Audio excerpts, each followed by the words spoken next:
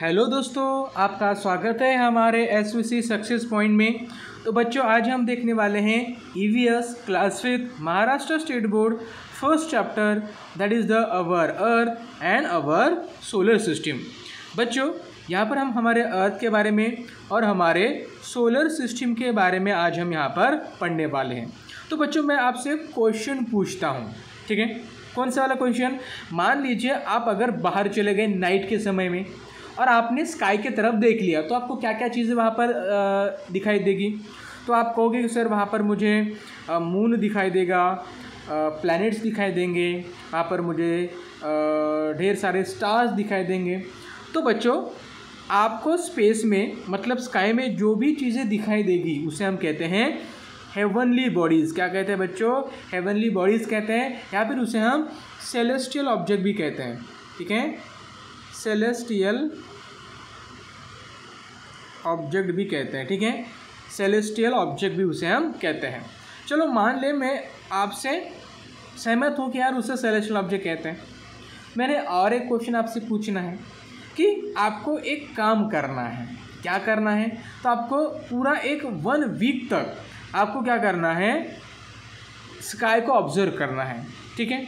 तो आपको वहाँ पर देखना है कि कौन से जो चीज़ें हैं वो ब्राइट है। कौन सी ट्विंकल कर रही है? उसका कलर क्या है? उसका साइज़ क्या है? क्या वो अपनी पोजीशन को चेंज कर रही है? ये आपको वहाँ पर लिख लेना है। ओके बच्चों? चलो। अब देखो बच्चों, यहाँ पर मैं आपसे एक और चीज़ पूछना चाहता हूँ। कि आपने स्टार कहा कि स्टार होता क्या है फिर? स्टार क्या है फिर? तो बच्चों देखो the heavenly bodies that twinkle are called the star मतलब जो हेवनली बॉडीज़ है, जो ट्विंकल करती है मतलब जिसकी लाइट कम ज़्यादा होती रहती है, ठीक है? स्टार्स और they have their own lights यानी जो ट्विंकल करते हैं और उनको खुद की लाइट है।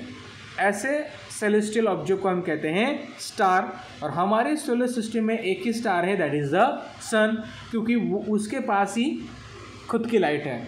दूसरे जो चीज़ें हैं, उनके पास खुद की लाइट नहीं है okay The sun is a star. It closer to us than any other stars. Hence it appear big and big and brilliant. It is bright light during the day. We cannot see the other star. अगर हम बच्चों अगर बात करें हमारे star के बारे में तो हमारे सोलर सिस्टम में सबसे नज़दीक अगर कोई स्टार है तो वो सन है तो इसके वजह से वो हमें बिगर एंड ब्राइट दिखाई देता है ठीक है और डे के टाइम में इसका ब्राइटनेस सबसे ज़्यादा होता है, इसके वजह से डे के टाइम में हम दूसरे स्टार को या फिर दूसरे प्लानट को हम नहीं देख सकते इवन हम मून को भी नहीं देख सकते। अब आपको स्टार समझ में आ गया कि क्या होता है। अब यहाँ पर हम बात करेंगे बच्चों प्लानट होता है क्या है। बच्चों देखो the heavenly bodies that do not twinkle are called the planet यानी ऐसी बॉडीज जो ट्विंकल नहीं करती हैं and planets do not have their own lights यानी ऐसे चीज़ें कि जिनके पास खुद की लाइट नहीं होती है। ठीक है? तो ऐसी चीज़ों को हम क्या कहते हैं? तो ऐसी चीज़ों को हम प्लैनेट्स कहते हैं। ठीक है? प्लैनेट्स कहते हैं प्लैनेट को लाइट नहीं होती है। They get the light from the star वो कहाँ से लाइट लेते हैं बच्चों? वो स्टार से लाइट लेते हैं, ठीक है? कहाँ से? स्टार थे ये आपको याद रखना है। Planet revolve around the star और ये एक चीज़ भी आपको याद रखनी होगी कि जो प्लानट होते हैं, वो सन के अराउंड रिवॉल्व करते हैं, ठीक है? वो क्या करते हैं? सन के अराउंड रिवॉल्व करते हैं even as they rotate around them self यानी वो खुद के एक्सेस के अराउंड ही घूमते हैं। यानी वो खुद भी घूमते हैं और सन के अराउंड भी घूमते हैं। ऐसी चीज़ों को हम क्या कहते हैं बच्चों? ऐसी चीज़ों को हम प्लैनेट कहते हैं। क्या कहते हैं? प्लैनेट कहते हैं। तो हमने यहाँ पर स्टार के बारे में और प्लैनेट के बारे में तो इन्फॉर्मेशन हासिल कर ली है। तो यहाँ पर आज हम इन्फॉर्मेशन हासिल करेंगे हमारे सोलर सिस्टम के बारे में। चलिए बच्चों सोलर सिस्टम होती क्या है? Our earth is the planet हमारी अर्थ क्या है बच्चों? प्लानट है।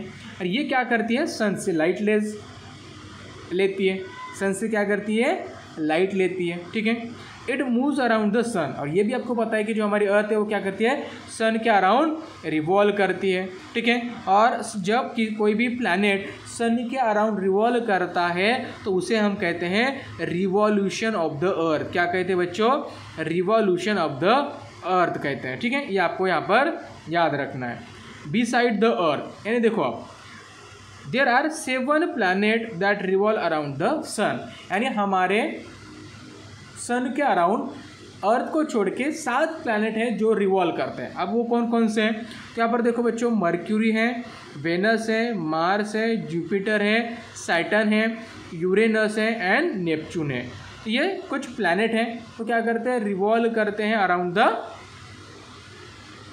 around the sun ठीक है? ये आपको यहाँ पर याद रखना है बच्चों। ठीक है? एकदम आसान है। ठीक है? चलो। अब देखो बच्चों, ये सारी चीज़ आपको पता चल गई। अब हम बात करते हैं कि हमारे सोलर सिस्टम के बारे में। हमारे सोलर सिस्टम में जितने भी प्लैनेट्स हैं, वो सारे क्या करते हैं? हमारे सोलर सिस्टम का पार्ट है। ठीक है? जितने भी प्लैनेट हैं, जो सन के अराउंड रिवॉल्व करते हैं, वो सारे क्या हैं बच्चों? हमारे सोलर सिस्टम का पार्ट हैं और वो क्या करते हैं, एक स्पेसिफिक ऑर्बिट में स्पेसिफिक पैथ में घूमते रहते हैं, ठीक है?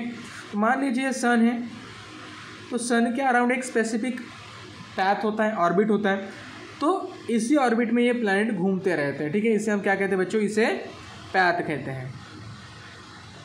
क्या कहते हैं? उसे हम पैथ कहते हैं। ये भी आपको यहाँ पर याद रखना है।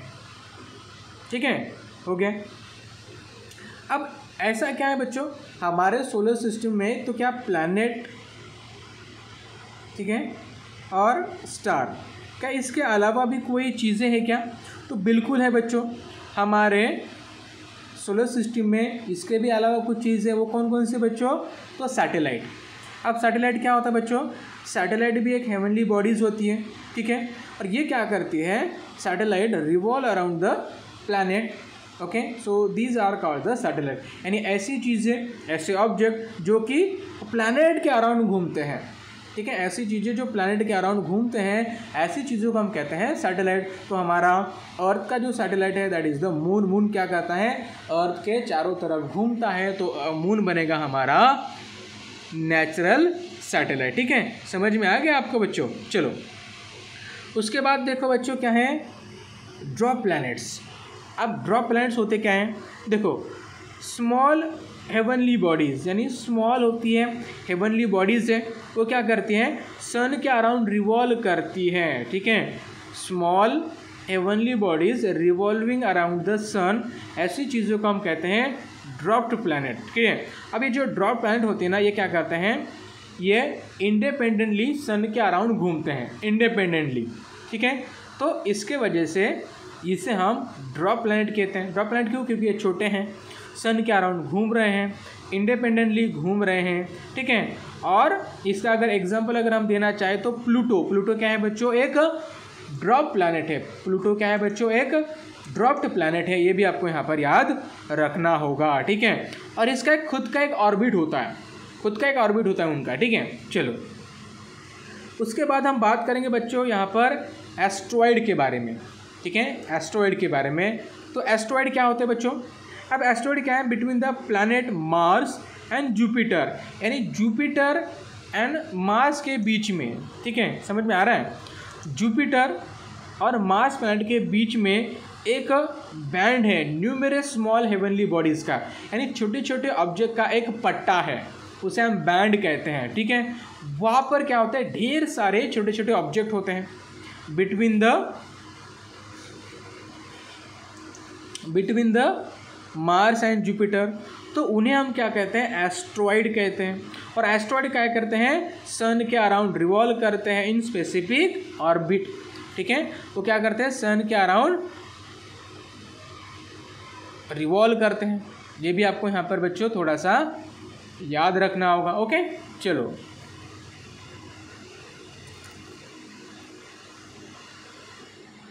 देखो, यहाँ पर आप देख सकते हो। ये हमारा सन है, ठीक है? और सन के दूर देखो बच्चों, यहाँ पर एक छोटा सा प्लानट है प्लूटो। प्लूटो क्या कर रहा है? एक स्पेसिफिक ऑर्बिट में छोटा सा ऑब्जेक्ट रिवॉल्व कर रहा है around the sun that's why it become a dwarf planet ठीक है? अब हमने एस्ट्रॉयड की बात की थी यहाँ पर, ठीक है? एस्ट्रॉयड के बारे में। ये देखो बच्चों एस्ट्रॉयड एस्ट्रॉयड क्या होता है बच्चों? मार्स एंड जुपिटर के बीच में एक छोटा सा बैंड होता है। वहाँ पर न्यूमरस छोटे छोटे ऑब्जेक्ट होते हैं जो रिवॉल्व करते हैं अराउंड द सन तो इन्हें हम क्या कहते हैं? एस्ट्रॉयड कहते हैं. अगर मैं यहाँ पर आपको बता दूँ कि सन के सबसे नज़दीक का कौन सा प्लानट है तो आपको बताएँगे यहाँ पर वेनस है. वेनस के बाद second nearest planet to the sun that is a Venus Venus के बाद अर्थ है. अर्थ क्या है? थर्ड नियरेस्ट प्लानट है टू द सन उसके बाद बच्चों मार्स है. ठीक है? ये आपको यहाँ पर याद रखना है. ठीक है? चलो. और बच्चों नेक्स्ट वाले सेशन में हम ग्रेविटी के बारे में देखने वाले हैं कि ग्रेविटी होती क्या है, ठीक है? सो चलो बच्चों thank you so much to join this session next video में हम ग्रेविटी के बारे में यहाँ पर डिस्कस करने वाले हैं।